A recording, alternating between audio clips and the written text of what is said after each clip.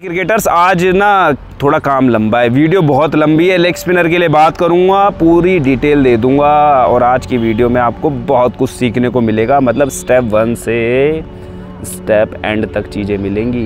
अगर वीडियो को पूरा देखेंगे ना तो बहुत कुछ। तो सबसे पहले ना मैं इंट्रोडक्शन दे देता हूँ आपको लेग स्पिन का। अगर वो समझ गए तो आपको वीडियो में बड़ा मज़ा आने वाला है। तो अभी तो यार बाद में बताऊँगा, पहले की बात कहूँगा कि यार जो भी बच्चे ना चैनल पे आए हैं तो सब्सक्राइब कर दीजिए। और जो आपको ये आइकन दिख रहा है ना, घंटी वाला, इसमें ज़रा साउंड आना चाहिए, बजना चाहिए। तभी आप कोचिंग के टच में रहेंगे और वो चीज़ आपको एक्टिव रखेगी। और जब एक्टिव रखेगी तो आप बहुत कुछ सीखते चले जाएँगे। तो यार टाइम ज़्यादा ना लेते हुए सीधा टॉपिक पे आ जाए तो यार लेग स्पिन इंट्रोडक्शन कर लेते हैं। लेग स्पिन का मतलब पता क्या है? कि राइटी बैट्समैन के लिए जो बॉल लेग में पड़ के ऑफ़ में जाती है उसको लेग स्पिन कहते हैं क्रिकेट की लैंग्वेज में। और खासकर अगर वो रस्ट स्पिनर फेंके अनऑर्थोडॉक्स तरीके से फेंके तो उसको राइट आर्म लेग स्पिनर कहते हैं। तो यार मैंने काफ़ी लेग स्पिनर दे, देखे हैं। मेरे से कमेंट में सवाल पूछते हैं सर एग्जैक्ट ग्रिप क्या रहना चाहिए? मैंने पहले भी ग्रिप पे एक सेपरेट वीडियो बना रखा बट ये डिटेल वीडियो इसमें स्टेप बाय स्टेप सारी चीज़ें बताऊँगा। ये बॉल आप देख रहे हैं तो बॉल आपने कुछ नहीं करना अपने लेफ़्ट हैंड में बॉल लेना अगर आप right arm leg spinner left arm leg spinner है तो इस हाथ में। ऐसे बॉल लेना है बिल्कुल जैसे मैंने रखा हुआ है और टू फिंगर अप और ये जो आपका टर्निंग फिंगर है ये थोड़ा सा डीप रहना चाहिए। जब डीप रहेगा उससे क्या रहेगा? जो आपका लेग स्पिन है ना वो अच्छा रहेगा। मैंने पता क्या, इसमें मैं थोड़ा सा ब्रीफ करना चाहूँगा, क्योंकि कई बच्चे मेरे पास आ रहे हैं लेग स्पिनर आ रहे हैं तो कईयों का ना फिंगर यहाँ से कट रहा है। तो इट मीन्स उनका जो रिलीज़ पॉइंट है बहुत ज़्यादा मतलब ऊपर से है जो इस फिंगर का। तो रिलीज़ होते होते जो एनर्जी है ना वो यहाँ तक आती है रिलीज़ की। तो यहाँ से कट रहा है, काफ़ी दिक्कत हो रही है बॉलर्स को। तो मैं यही कहूँगा कि आप इस उंगली को थोड़ा डीप रखें, यहाँ से फ्री रखें। जब ये चलता चला जाएगा तो ऑटोमेटिकली आपकी जो ये वाला साइड पोर्शन है इस पर लगेगा लोड तो आपकी जो छिलने की समस्या ख़त्म हो जाएँगी। तो आपने ग्रिप हमेशा ऐसी ही रखनी है। हाँ एक और बात कहूँगा इसके साथ साथ कॉपी पेस्ट कुछ भी नहीं है कि अगर आपके ग्रिप में ना, जैसे कोई बच्चे हैं, बढ़िया लेग स्पिन कर रहे हैं बट ग्रिप थोड़ी अलग है। और अच्छा छूट रहा है अच्छा चल रहा है, कम स्पिन हो रहा है बट कंट्रोल अच्छा आ रहा है, सब चीज़ ठीक है। तो आप चेंज बिल्कुल ना करें। इतना कोई फ़र्क नहीं है कि यार, जैसे मतलब मैं बता रहा हूँ, ये परफेक्ट है, यही रहेगा पूरी ज़िंदगी, ऐसा नहीं है। आप कुछ नेचुरल एबिलिटी भी होती है, हर किसी बॉलर की, हर किसी प्लेयर की। अगर वो आप कमांड कर रहे हैं, वो अच्छा कर रहे हैं, वो आप बहुत फ्रीली और इन्जॉय कर रहे हैं ना तो उसको बिल्कुल ना चेंज करें, जहाँ चेंज की ज़रूरत है ना। वहाँ चेंज करेंगे अदरवाइज़ कोई चेंज नहीं करेंगे। तो सेकंड चीज़ पे आ जाते हैं। तो गाइज़ मैं बताता हूँ रिलीज़ पॉइंट बड़ा ही मस्त चीज़ है कि काफ़ी बॉलर्स देखे होंगे, जैसे आप, मैं इंटरनेशनल बॉलर से ज़रा मतलब रिलेट कर देता हूँ। आपने राशिद खान देखे होंगे, हाई या में कान के पास से टच है। थोड़ी सी बॉडी लिटिल लेटरल रहती है और ऐसे बॉल निकलता है। गूगली बहुत अच्छा जाता है। जाम्पा को ले लेंगे स्ट्रेट रहता है। और शेन को ले लेंगे साइड आर्म ज़्यादा है। और कुंबले को ले लेंगे स्ट्रेट आर्म है। Flipper and googly very important है उनकी बॉलिंग के अंदर। तो अलग अलग तरीके के बॉलर्स होते हैं यार। और रिलीज़ पॉइंट है ना, जो रिलीज़ पॉइंट मैं आपको इसको और अच्छे से एक्सप्लेन करने की कोशिश करता हूँ। ज़रा समझ लेना। आ जाओ इधर। आ जाओ आ जाओ।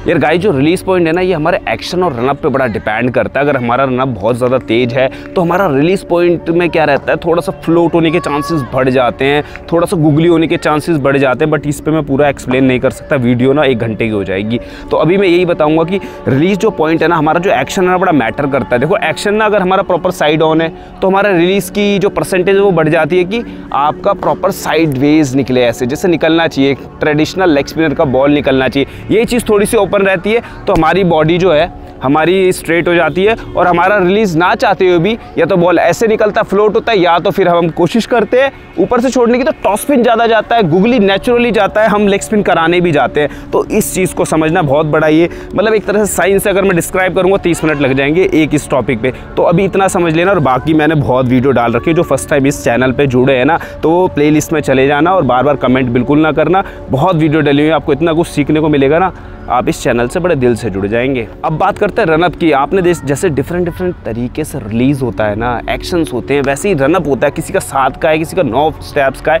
किसी का फाइव का है। तो बिल्कुल भी कन्फ्यूज़न बिल्कुल नहीं रखनी है। हाँ जैसे अब नेचुरली जो बच्चे नए हैं ना, मैं पहले उनको बता देता हूँ यार, जो नई लेग स्पिन सीखना चाहते हैं। तो मेन चीज़ पता है कि पाँच से सात कदम का रनअप इज़ बेस्ट जो सजेस्ट कर रहा हूँ उससे सबसे बड़ा बेटर रहेगा। तो कोशिश ये करें कि अब उतना ही रखें। हाँ कोई बच्चा अगर कोई पुराने या मैच्योर बच्चे देख रहे हैं वो नो कदम में भी बड़ा अच्छा हैंडल कर रहे हैं अपने रनअप को उनमें एरर नहीं आ रहे माइंड के लेवल पर वो फ्री फ्लोइंग जा रहे हैं क्रीज पे और बॉल डाल रहे हैं तो वो चीज़ भी बड़ी इम्पैक्टफुल है। अगर आप उसको कर तो रनअप में ज़्यादा अपने पचड़े में नहीं पड़ना सेपरेट वीडियो बना दूँगा क्योंकि एक में कवर करना बहुत मुश्किल काम है। आप देख नहीं पाओगे आप फिर स्किप कर दोगे। चल भाई। अब जो लास्ट वाली चीज़ है ना फॉलो थ्रू बता दूँगा जो कि मैंने अभी इस पर सेपरेट वीडियो नहीं इस वीडियो में ना इसको मैं लंबा ब्रीफ में ऐसे बताऊँगा कि अगर आपने इस चीज़ को समझ लिया ना आप एयर में तेज हो जाएँगे आप ऑफ़ द विकेट तेज हो जाएँगे कहीं ना कहीं कि आपकी जो बॉडी की एनर्जी है ना वो लगने लगेगी बॉल में और जब वो लगती है ना तो बॉल के अंदर एनर्जी दिखती है ऑटोमेटिकली एनर्जी क्रिएट होती है और वही आपको शार्प स्पिनर बनाने में बड़ी हेल्प करती है। ज़रा ध्यान से देख लेना। आ जा भाई। देखिएगा इस दो तरह से फॉलो थ्रू होते हैं स्पिन बॉलिंग के अंदर। मैं बताता हूँ, सबसे पहली आप, मैं बताता हूँ just like a Shane Warne Kuldeep Yadav जो एक टांग पे फॉलो थ्रू करते हैं, उसका दूसरे पे बताऊँगा। देखिए फ़र्स्ट फॉलो थ्रू क्या रहता है, वो ये पैर डालते हैं और इसी पे पूरा ये कंप्लीट करते हैं एंड देन ऐसे हो जाते हैं। ये वाला जो फॉलो थ्रू है ना, ये हमेशा उन बॉलर्स का मिलेगा जो बहुत ज़्यादा क्लासिकल है, जिनका बॉल कॉपी पेस्ट ऐसे चलता है थर्ड मैन की तरफ़ सीम रहता है लेग स्पिनर का और देखने में लूप बहुत शानदार बनता है क्योंकि बॉडी रोटेशन बहुत ज़्यादा इन्वॉल्व होती है इस फॉलो थ्रू के अंदर। तो ये इस तरह के जो बॉलर्स हैं ना तो इस चीज़ को बनाए रखना चेंज बिल्कुल मत करना। बहुत काम आनी है, किसी भी विकेट पे टर्न कराते हैं ऐसे बॉलर्स और दूसरे फॉलो थ्रू पे ज़रा मैं अभी बता देता हूँ आपको। अब जो दूसरा फॉलो थ्रू उसमें पता क्या रहता है? बॉलर्स को अपने राशिद राशिद खान तो हैं ही। इमरान, ताहिर, अनिल, कुंबले एंड और भी बहुत जो अभी मेरे पर नाम नहीं याद आ रहा है। तो वो क्या करते हैं? वो अपने पैर पे ऐसे डालते हैं और पूरा बॉडी ऐसे आगे की तरफ़ वो क्या करते हैं? थोड़ा ऐसे पैर डलता है और फॉलो थ्रू लेते हैं, एक दो स्टेप और आगे आते हैं। उनका just like a gentle medium pacer like follow through रहता है। तो उसमें क्या रहता है? बॉडी उसमें भी लगती है। एनर्जी उसमें भी लगती है, बॉल उसमें भी गिरता है। बट उस फॉलो थ्रू के अंदर जो बॉडी रोटेशन है ना, वो कम रहता है कंपैरिजन टू जो फ़र्स्ट फॉलो थ्रू मैंने आपको बताया। उसके पीछे रीज़न पता है क्या है? जब हम इस पैर पे होल्ड करते हैं होल्ड करते हैं तो हम इस पैर को अच्छा पिवेट करते हैं। और जब ही हमारा जो फॉलो थ्रू इस पर ही फिनिश होता है, ये। और जब हम इस पर कम होल्ड करते हैं जैसे जो हमारे इमरान ताहिर है या राशिद खान है, वो उनका पिवट आपको बहुत कम ना के बराबर बॉडी रोटेशन देखने को मिलेगा बट उनके अंदर अपनी स्किल है, वो मतलब अपनी लाइन और लेंथ को बहुत अच्छा एडजस्ट करते हैं, उनका गुगली बहुत अच्छा है, उनका फ्लिपर बहुत अच्छा है, उनका कुछ नेचुरल ऐसी चीज़ें हैं, उन्होंने उस पर कमांड कर रखा है है वो भी लेग स्पिनर कहने को लेग स्पिनर है बट गुगली और फ्लिपर बहुत शानदार फेंकते हैं, और उल्टा रिलीज़ है तो दैट्स वाई सब उनको लेग स्पिनर कहते हैं, और मतलब एक जैसे कहते हैं ना क्लासिकल लेग स्पिनर वो तो मैं उनको ही कहूँगा जिनका बॉडी रोटेशन है, जो लेग स्पिन बहुत शानदार कर सकते हैं। जैसे कुलदीप यादव, जैसे शेन मोहन, जैसे अमित मिश्रा, जैसे राहुल चार और भी बहुत होंगे। तो गाइस बने रहो। हाँ तो गाइस वीडियो पसंद आई हो तो सब्सक्राइब करना, नहीं लाइक पहले करना सब्सक्राइब तो कर ही देना और बेल आइकन ये घंटा है ना, ये ढंग से दबाओ ज़रा, सारे के सारे। जितनी रीच बढ़ेगी ना, मैं उतना अच्छा कंटेंट दूँगा आपको, उतना इन्वेस्ट करूँगा। Quality wise knowledge knowledge wise क्योंकि मैं चाहता हूँ कि आपको बेस्ट से बेस्ट चीज़ सर्व करूँ, ताकि मेरी सर्विस इतनी ठीक हो मेरे एंड से कि आप अपनी सर्विस अच्छी कर ले, अपने खेल की खेल की सर्विस अच्छी कर ले, अपने आप को सर्विस मोड पे ऐसा डाल देना कि आप अच्छा इंप्रूव कर जाए। तो गाइज़ आज के लिए इतना ही। नेक्स्ट वीडियो में मिलते हैं नेक्स्ट टॉपिक के साथ। All the very best thank you